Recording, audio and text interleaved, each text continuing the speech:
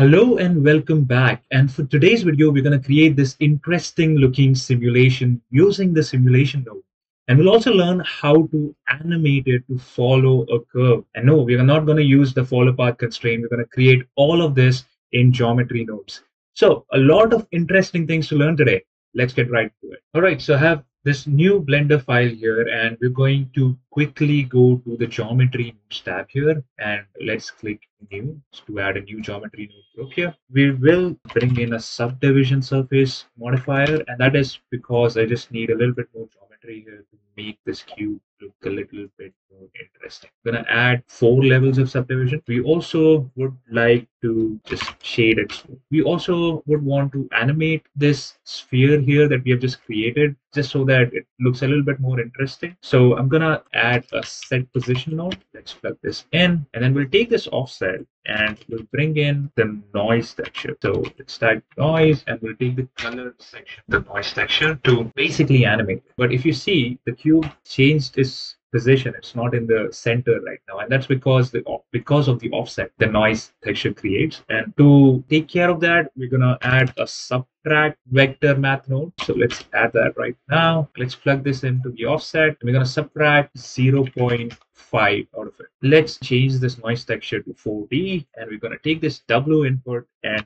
just type seconds just so that the noise pattern keeps changing every second. So if I play this now, every second there's a new noise pattern that is getting created. Currently the noise is way too much for me, so I'm gonna reduce it to one and I think good enough to start. The next thing we'll do is we'll create a way for this object to follow a path so that we can create something similar to the follow path constraint that we generally use. But to do that, I'm going to duplicate the set position now and I will add a curve because we need a curve to follow. So let's bring in a Bezier circle and we're going to scale it and let's click on our object again and then click on this Bezier circle and bring this in as an object into our geometry nodes. We also want to make sure that we are always looking at the relative geometry of the object so that if we scale it, change position, the geometry node should pick it up in real time. So let's switch it to relative. Then we're going to take this geometry section here and we're going to add a sample curve and this is the one that's going to help us animate it. Let's take the position of the sample curve node and add it to the offset of our object. Now, as soon as I do that, the object is currently sitting right on the curve and that's that's what we want. Now, let's also click on all curves because we're not going to change the index of the curve anyways. Now, if you look at this factor here, if you change it from 0 to 1, the object completes one rotation around the curve path. To animate our uh, simulation here, we're going to create a simulation of 200 frames. And for frame zero, let's go to zero, we're going to add a keyframe here. Keyframe at frame zero, the factor would be zero. Now let's move to frame number 201 and we're going to change the value to one and let's add another keyframe right here, right? So if I click on this, now I can see those keyframes. Now, if I play the simulation, if you see, there's one thing that is happening is that the cube is starting slow and then speeding up and then stopping slow as well. So if you don't want that and if you want a constant speed all along the animation, what we can do is we can click on this sample curve node and then click on both of these keyframes that we added. Do a right click and change the interpolation mode to linear. You can see the speed is constant and it gives us a little bit more seamless animation. Now that we are done with the animation part of it, let's get into how I created that trail of particles right behind my cube. To create a trail of particles, we're going to need particles. So let's add a distribute points on faces node right after our set position node and let's join it with our original geometry. So we're gonna add a join geometry node, plug this in the output and let's also plug in our original geometry here. If you see the points are created, but they're moving right along with our cube, but it's not creating a trail yet. We're going to need a simulation node. Let's bring in something in geometry mode that is called simulation zone. We are going to plug in our distribute points on faces into the simulation node and let's plug that into the join geometry node as well. But yeah, if you see now the points are not moving. We are going to need a join geometry node again. So I'm going to duplicate the one that we used before and let's plug this in right here and let's refresh the simulation and play it again. If you see the trail of the points are getting created now, which is great, but it looks like there are ropes of points that are getting created. It's not dynamic at all. And that is because the seed of where the points are getting created is constant. So regardless of how much time passes, uh, it just keeps the constant position for each particle, which is basically creating an illusion of a line of particles. So to make it a little bit more dynamic, we'll take this frame from our scene time node and plug it into the seed of the distribute points and faces node.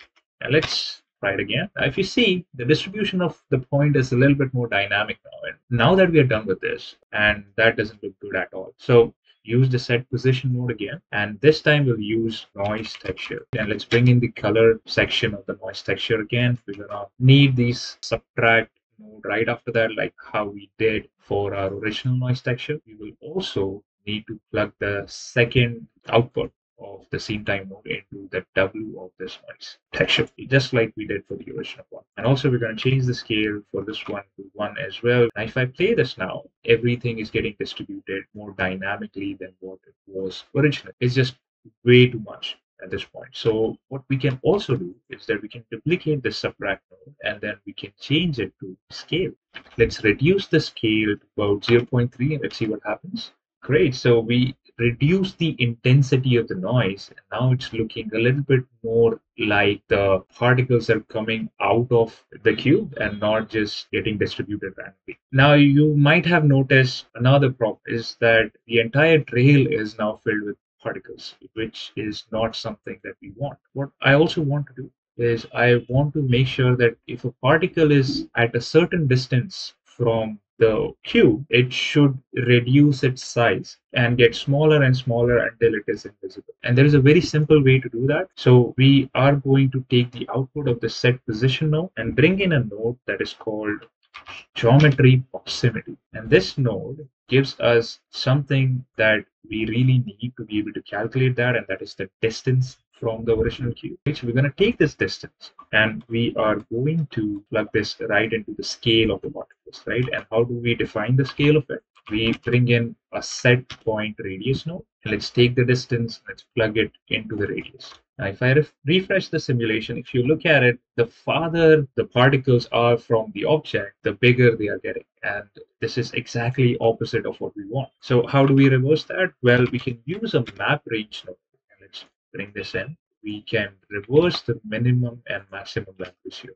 Let's refresh it and let's look at it again. The particles are very, very close to the cube and then it gets almost invisible as soon as it gets a little bit away from Q. Let's change the values a little bit more. We don't need a scale of like one for it, right? We need the particles to be smaller. So I'm going to bring it down bring down the minimum value to 0.05 is just making the particles very small very quickly and that's not what we want so let's change the from max value at the top to let's say 6 for now and let's play it again and this looks a lot better and for that we're going to take this from max value and add a random value here we'll change the value somewhere between let's say 6 to 10. Let's bring this frame and plug this into the seed as well so that it changes every second. Let's play it again. And uh, now it is a, it looks more organic than what it was before. There is also another problem which you can't see right now, but it's there. Uh, it's because the particles are getting smaller, but they are not getting deleted. And what I mean by that is that if you see when the cube comes closer to the end of the animation. The original particles that were there, they, they start to come back. So we have to find a way to delete this particle somehow. The easiest way to do that is just bring in a delete geometry node and plug this right in here. Now, if I just plug this in, it's just going to delete everything. So we got we would have to tell it what exactly to delete. So I'm going to take this map range value and we'll use a less than node or a compare node and we can tell it that if the particle size is less than 0.01 I want you to delete it and take this result and plug this into the selection. If you look at it, as soon as the particle size reduces to a certain value, it just goes ahead and deletes that particle. And the particles are also not coming back when the cube is coming to its original position. Uh, of course, you can increase the density here to about 50 or 60 to get a little bit more particles in into the simulation so that it looks more presentable. The only other thing that is left right now is to add an instance on point node just to make sure that we are able to render all of what we created. For the instance, I used a cube. You can use anything that you want. Let's make sure that we are also using the size that we are calculating and the value of that size was saved in a radius. So we can just bring in a radius node and plug it here. I'm going to reduce the number of particles because I'm using a very low spec PC. I would also add a dynamic rotation in there. And for that, we'll use a random value change this max value to 6.283, which is 360 degrees for radians. And then we'll duplicate the scene time and let's take the frame and plug it into the scene so that the rotation is changing every frame when uh, the simulation is actually played out. You can also click on your curve, add some subdivisions to it so that you can change the path to look not just straight, but change the way your cube is moving through the entire simulation. And yeah, like like I said originally, this entire thing is dynamic, so the, you can change the path to whatever you want, and we'll just basically follow it. But I guess that's about it for today's video. I really hope you liked it and you learned something new. If you did, please do like, share, and subscribe. I'm gonna see you in the next one.